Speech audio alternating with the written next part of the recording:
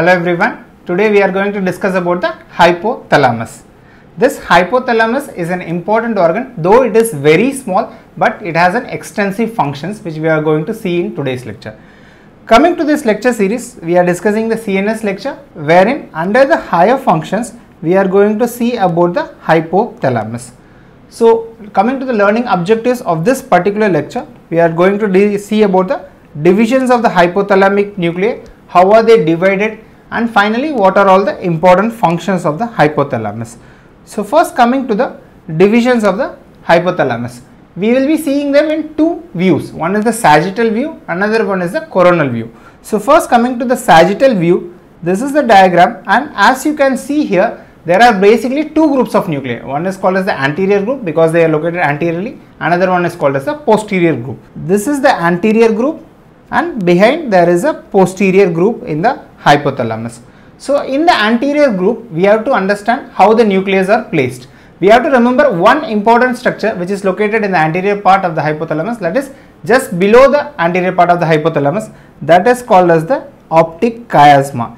This is nothing but the crossing of the uh, optic tract. Whenever the optic tract is crossing over, that area is called as optic chiasma. Since the nuclei which is just above in the anterior group are located very near to the optic chiasma, they have several names which is related to the optic system. So that is called as a supraoptic. As you can see here, it is just located above the optic chiasma. That is supraoptic, and one is located just in front of the optic chiasma. Considering the location, that is called as preoptic.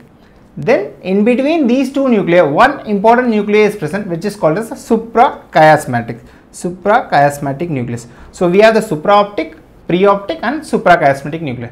Other than that, we have one more important nuclei which is bigger in size that is called as the paraventricular nuclei that is called as the paraventricular nuclei.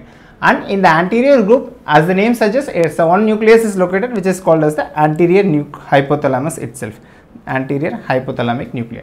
Then very similar to the anterior hypothalamic nuclei on the posterior side we have the posterior hypothalamic nuclei. Other than this we have two medial group of nuclei. One is the dorsomedial, another one is the ventromedial. So one group is dorsomedial and another group is ventromedial. And one more important nuclei we have in the posterior group which is called as mammillary body. In our previous lecture of limbic system also we saw that the limbic connections are going through the mammillothalamic tract to the thalamus it receives it from the hippocampus and gives it to the from the hypothalamus it gives it to the thalamus. So this mammillary body we have already discussed which is present in the posterior group. And one more important nuclei is present which is called as the arcuate nuclei. So these are the nuclear divisions between the anterior and the posterior group. Other than this which is not shown in this view but it is very important is the lateral hypothalamus.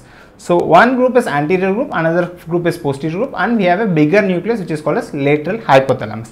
Now coming to the coronal view, here as you can see here it is mentioned coronal view. In the coronal view, we are not going to see all the nuclei, we are going to see the missed nuclei.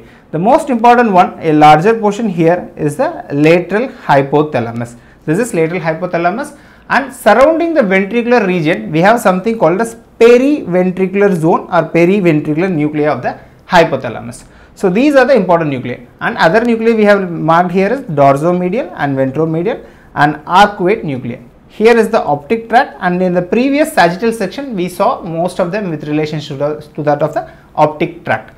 So now coming to the most important functions, we will come back to all this nuclei once we discuss the function then we will try to summarize what is the function of each of the nuclei. So coming to the vegetative and endocrine functions and another group of functions we will be discussing is the behavioral functions. So coming to the vegetative functions, it is involved predominantly in cardiovascular regulation. So we have to know which particular nuclear group is involved in cardiovascular regulation. So one group that is involved is the posterior group as well as the lateral group.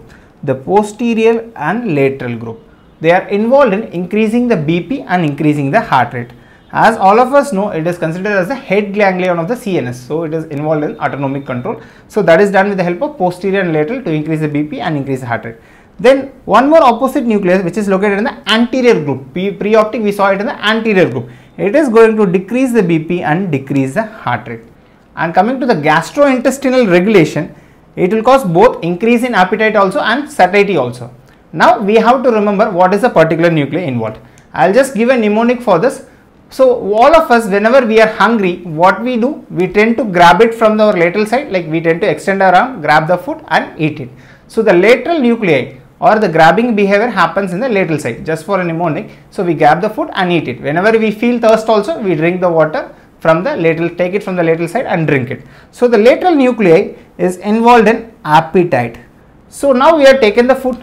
So we feel always feel that the there is filling of the stomach and it gives a satiety feeling. Satiety means fullness of stomach or quenching of the thirst. Both happens in the medial side. So just remember for a mnemonic, whenever we drink water, what is happening? We are feeling satiety in the medial portion. So this ventromedial group is involved in satiety function. Then coming to the circadian rhythm, again this circadian rhythm we will discuss in the sleep cycle also. It is done with the help of a master clock which is called as suprachiasmatic nucleus. In which group it is located? It is located in the anterior group. That is the master clock which regulates the 24 hour cycle in the body. Like with the 24 hour cycle period which is destined for us, it is maintained by the suprachiasmatic nucleus. Now coming to the other functions, it is involved in body regulation also. The anterior group is called as the anti-rise group. So whenever there is an increase in body temperature, what we have to do? We have to sweat it out. So the anterior part of the hypothalamus is involved in this function. So this causes sweating.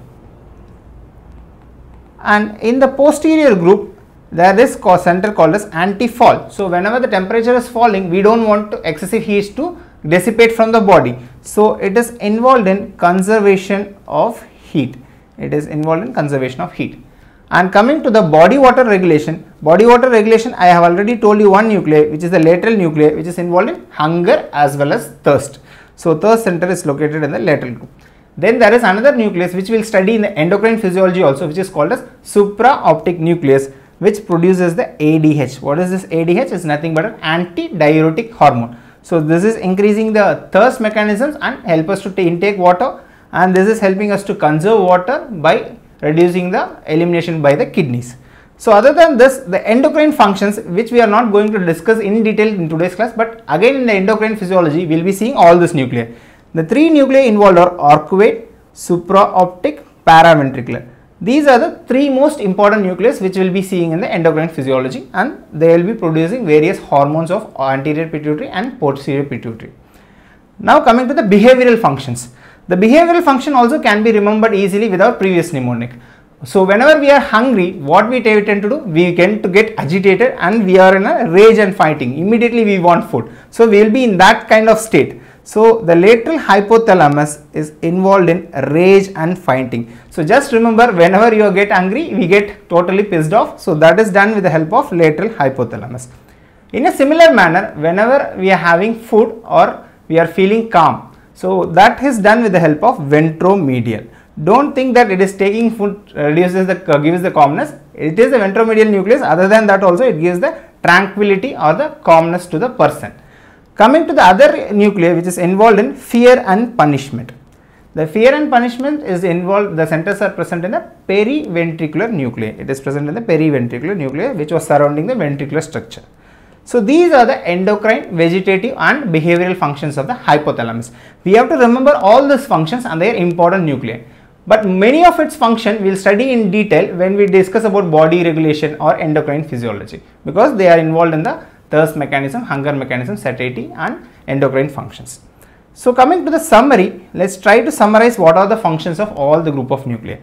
So there are three nuclei which is involved in endocrine physiology which is the paraventricular, supraoptic and arcuate. These are the three important nuclei which is involved in endocrine physiology. Coming to anterior hypothalamus, anterior hypothalamus was anti-rise function. It was doing an anti-rise function. What was the opposite function? It was done by the posterior hypothalamus. It is done by the anti-fall function. It is doing the anti-fall function. Now coming to the preoptic nuclei. Preoptic nuclei what it was doing? It was reducing the BP as well as decreasing the heart rate. The opposite action was done with the help of posterior hypothalamus which was increasing the BP and increasing the heart rate along with the help of lateral hypothalamus also. Then suprachiasmatic nucleus what is the function? It is the master clock. It is a master clock. Then coming to the mammillary body we saw it in the limbic system. It is involved in the limbic system. Then coming to the medial nuclei, medial nuclei are involved in hunger and satiety as well as tranquility. So coming to the behavioral functions, here we can discuss the behavioral functions. The lateral hypothalamus, it is involved in rage and fighting. Whereas the fear and punishment centers are located in the periventricular zone. So periventricular zone, we have the fear and punishment. So these are the most important nuclear group of the hypothalamus and their basic functions. I hope it's clear. Thank you for watching the video. If you like my content, share it to your friends who might also benefit from it. Thank you so much.